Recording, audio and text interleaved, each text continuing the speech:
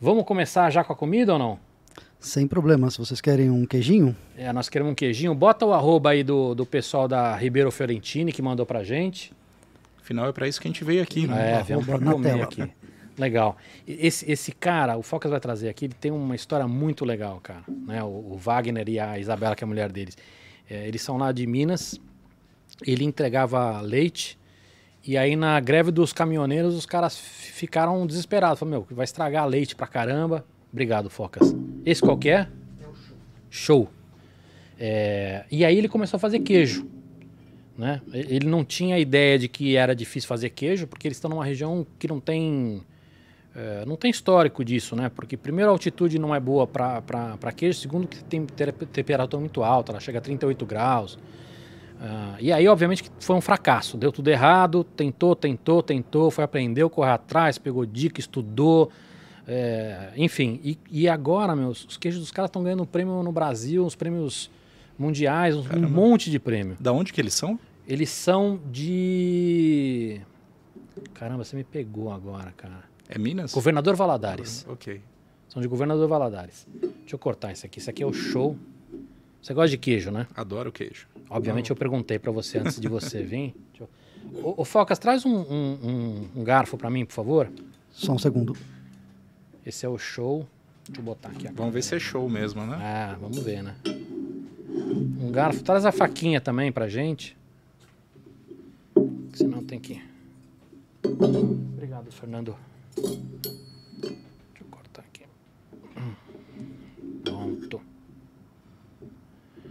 E se quiser já trazendo os próximos também, ô Sem problemas. Focas, que a gente já vai experimentando também. Ah, traz um. Deixa eu pegar um pratinho pra ele, pera um pouquinho.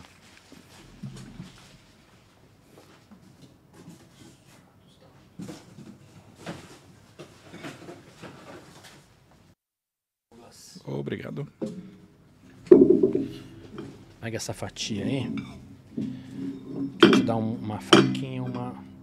Então, pega essa aqui, eu vou pedir outra pra mim. Pode comer na mão também, se quiser, viu? Não tem. É, pode deixar. Acho que é mais fácil. Eu acho Pra também. degustar um bom queijinho. Deixa eu experimentar esse aqui. Pode colocar na.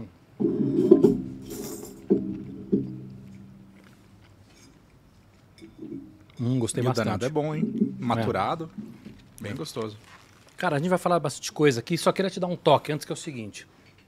É muito importante pra gente, pra mim e pro, pro Focas, que você seja bem recebido aqui. Então, mastiga, coma, tá? Se eu fizer a pergunta e tá com a boca cheia, mastiga numa boa. O pessoal que tá em casa espera. Quem tiver pressa depois vai ver os cortes, a gente faz os cortes, aí o cara não precisa ficar esperando a gente falar, esperando o papo inteiro. Então come numa boa, se divirta. Nós vamos falar sobre o assunto que você ama aqui. Ô Focas, esse, esse aqui é o meia cura, é isso? O queijo maiorzinho é o meia cura É, que, é um, o, que é um queijo bem, bem raiz lá, de, bem tradicional lá em Minas, né? e o, o menorzinho é um queijo Giovanna. Giovana. Que ele me explicou, obviamente que a minha memória vai ser uma desgraça, mas assim, é um, é um queijo. É um queijo, acho que próximo do, do frescal, e, e, mas não é tão seco. Deixa eu botar um pedaço pra Opa. você aqui. Outra coisa, Douglas, você vai pegando aqui também, tá? Tô servindo Vamos só lá, por educação aqui. Vamos devagar e sempre, senão daqui a Experimentar pouco a gente vai ter que fazer uma siesta aqui. É. E esse último queijo que chegou é o queijo Brumi. É muito bom também.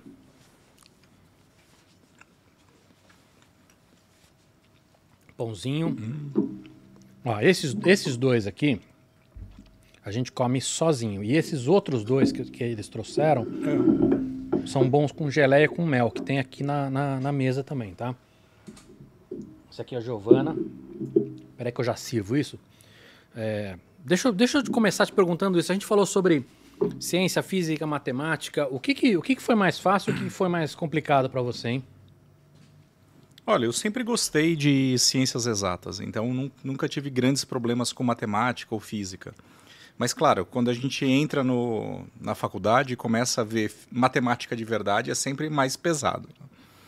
Então tive que ralar um pouquinho mais. Não tem como passar despercebido por isso. Mas foi divertido. Foi O que, que é matemática de verdade? é a construção da teoria da matemática. né?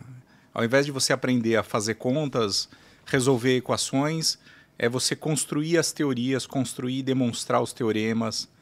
Então é aprender a lógica por trás da matemática. E isso que é um pouquinho mais complicado de pegar, porque a gente simplesmente não aprende esse tipo de matemática no colégio. Né? Acho que a gente não aprende nenhum tipo, né? a gente aprende a decorar fórmula, né? No máximo é isso, infelizmente. Então, no, na universidade, a gente é obrigado a pensar. Isso deixa, deixa eu te fazer uma um pergunta. mais. A gente escuta muita gente falar que matemática, entre outras matérias, o problema é o professor. É isso mesmo ou não? Se você tiver um professor, você acredita que a maior parte das pessoas vai, vai aprender, vai gostar de matemática ou não? Olha, eu acho que ajuda muito. Uma das coisas que eu aprendi no, ao longo da vida aí é que o professor é a fonte de inspiração. Aqui pra você. Opa, obrigado. Isso é mais forte, viu? Tem um cheiro mais forte. Todos são de vaca ou tem algum de cabra? São todos de vaca. E- mas o que eu aprendi é isso, que um professor realmente faz a diferença na escolha da vida, da, da profissão, da carreira. Eu acabei indo para astrobiologia, na verdade, por conta de um pesquisador que eu conheci no primeiro ano de graduação. Eu tive a oportunidade de participar de um congresso internacional de astronáutica que teve no Rio de Janeiro, em 2001. E foi, foi, foi uma série de coincidências que aconteceram. A Agência Espacial Brasileira decidiu naquele ano que o congresso seria no Brasil e ela decidiu selecionar um grupo de, de alunos brasileiros, alunos de graduação, para participarem do evento. E eu acabei sendo selecionado. Eu mand- mandei minha inscrição, acabei sendo selecionado para participar. E lá eu conheci, eu vi uma- essa palestra, eu não conhecia astrobiologia, isso nem existia aqui no Brasil, nem se falava disso eh, naquele momento. E eu vi a palestra de um pesquisador que é astrobiólogo, Antônio Lascano. É, ele foi aluno de doutorado do Stanley Miller, que é o pai da química pré-biótica, sobre a origem da vida e afins. Depois a gente pode falar mais disso.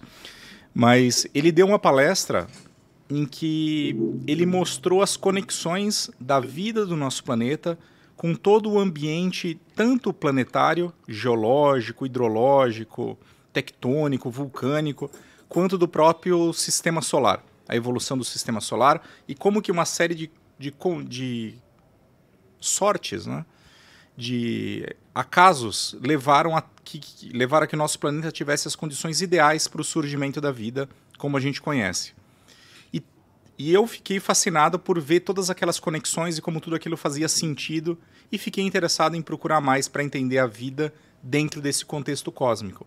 Mas isso foi muito pela forma como ele explanou aquele assunto. Então eu fiquei fascinado e eu sou amigo do, do Antônio Lascano até hoje.